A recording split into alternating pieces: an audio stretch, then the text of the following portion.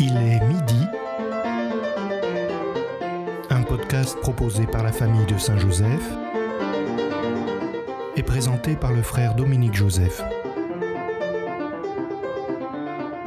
Frères et sœurs, l'évangile d'aujourd'hui nous place dans une situation quotidienne. Les disciples avaient oublié d'emporter du pain.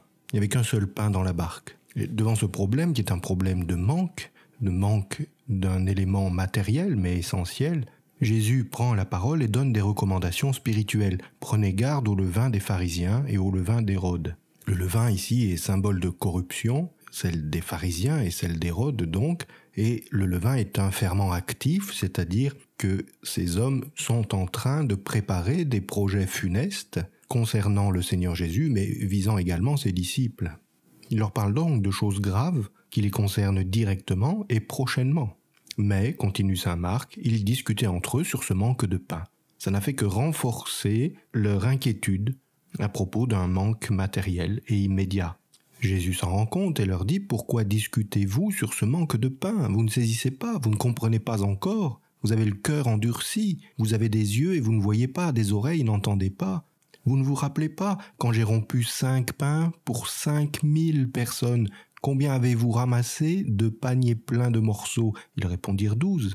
Et quand j'ai rompu sept pour quatre mille, combien avez-vous rempli de corbeilles en ramassant les morceaux? Ils répondirent sept. Et il leur disait, et vous ne comprenez pas encore? Et pour nous, cette lecture est difficile parce qu'elle s'arrête sur une question, c'est-à-dire sur un irrésolu. Nous non plus, nous ne comprenons pas encore. Et on aurait bien avoué avoir la réponse. Alors que fait Jésus?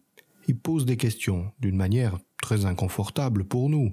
C'est un peu scolaire, donc ce qui occupe nos consciences, c'est le manque lié à une condition matérielle, lié à une contingence immédiate. Nous voyons ce que nous n'avons pas. Or que dit Jésus? Devant notre souci de ce que nous n'avons pas, eh bien il nous parle de ce que nous avons. Vous avez des yeux, vous avez des oreilles, vous avez une mémoire. Et à quoi faut-il s'en servir? Eh bien le Seigneur parle de la multiplication des pains, le Seigneur met l'accent non pas sur son action, mais sur l'action des disciples, celle qu'il leur avait commandée, et qui concerne les morceaux récupérés à la fin du banquet.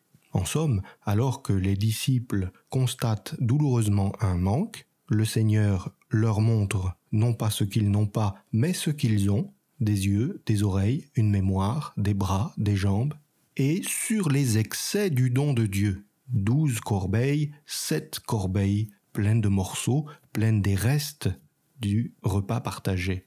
Bien sûr, cela peut être pris dans une logique comptable immédiate. Vous pleurez parce que vous n'avez qu'un pain, alors que Dieu qui donne toujours par excès vous a fait ramasser des corbeilles pleines de restes. Mais surtout, comment est-ce que nous pouvons dissocier l'excès des dons de Dieu et le plan de Dieu, le dessein de Dieu, c'est-à-dire notre destinée surnaturelle Car ce que Dieu donne, c'est l'Esprit Saint, ce que Dieu offre, c'est le salut.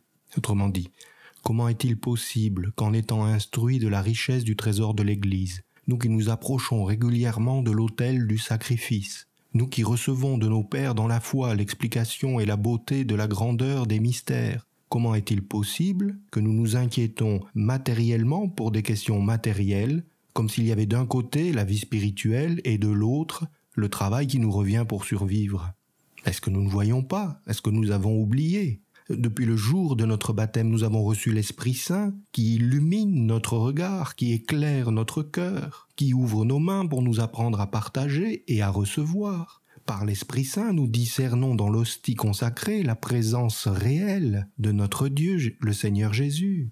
En nous approchant de la table de la parole, nous avons entendu l'enseignement du Christ qui nous a assuré qu'il était avec nous jusqu'à la fin des temps. Que nous faut-il de plus? Est-ce que ce n'est pas déjà excessif? Est-ce que ça n'est pas en soi un débordement de la générosité et de l'amour de Dieu?